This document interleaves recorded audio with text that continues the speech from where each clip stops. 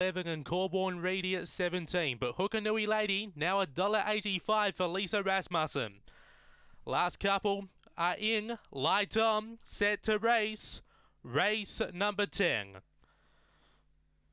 Away, Hookanui Lady began on terms, is mustering up now. There's speed from Shahaka and Select Hypo, but Hookanui Lady gets cleared by five into the back and is really starting to extend. Sutton Abbey gets into second. Then we go back to Select Hypo, Forte Nero, Corborn Rigi, and Shahaka. Off the back, Hookanui Lady doing it well, is cleared by seven. Sutton, uh, is closing the gap, a gap to the others, but Hookanui Lady takes the last.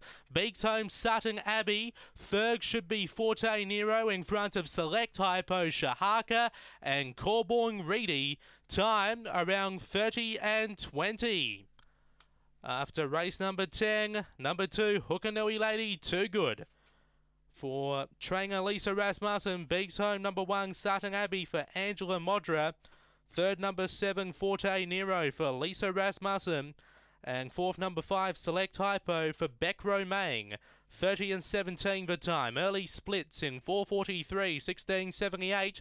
Rung home in 1339. 1339 for that rung home. 2175 are the numbers in the frame.